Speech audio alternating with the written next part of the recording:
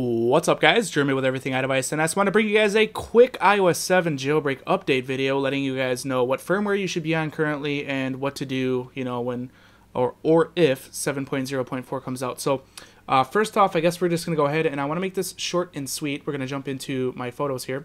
And uh, this is a tweet that came out a couple of weeks ago by MuscleNerd, which is one of uh, the members of the Evaders team, which is the team that is basically hacking and going to be able to bring the exploits for the jailbreak for iOS 7. And he basically tweeted out that uh, 7.0.3's lock screen fixes won't impact the jailbreak unless Apple Apple's holding back here. Ha. So I wouldn't pay attention to the second half of that, really the first half. Uh, so you guys should definitely be on iOS 7.0.3 right now. If you're not already, I would update immediately because you don't want to get screwed out of a jailbreak for iOS 7 because that would really suck.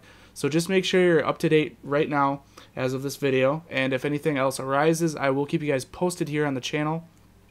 Also, the next tweet I want to cover here quick is from the Evaders uh, Twitter account uh, themselves, and it says, still working hard on the iOS 7 jailbreak. But in the meanwhile, we're thinking about making at Evaders hoodies. Any interest in buying one? So again, with that one, the second half, you don't really have to pay attention to that. But the first half is very nice to hear that all of the members are currently working hard at jailbreaking iOS 7. Now you guys got to remember, these are regular dudes with full-time jobs, and they do all this hacking and jailbreaking on the side.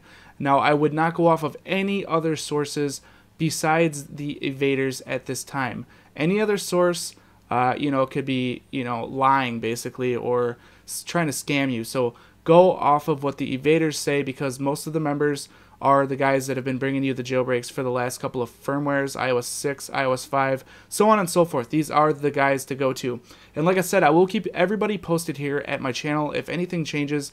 Uh, word has it that iOS 7.0.4 will be coming out sometime here in the near, near future. And if it does, I would not update to it immediately, I would hold off and then I will post a video letting you guys know whether to stay on 7.0.3 or if it's safe to update to 7.0.4 because if it's not safe to go to 7.0.4 then you might not be able to jailbreak. So do keep that in mind guys. If you guys did enjoy this really quick jailbreak update video, definitely throw me that thumbs up. That will help me out tremendously. Also, if you guys want to see more jailbreak videos like this and, you know, soon to be in the future, the actual iOS 7 jailbreak tutorial, be sure to click that subscribe button. This has been Jeremy with Everything iDevice, and I'll catch you guys in the next one. Later.